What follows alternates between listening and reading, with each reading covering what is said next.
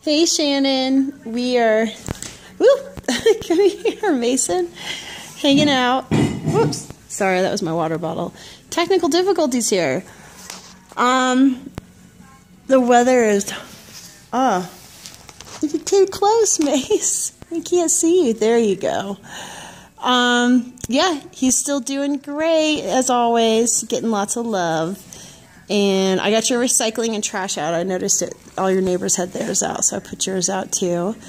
And we are just getting lots of cuddle time in.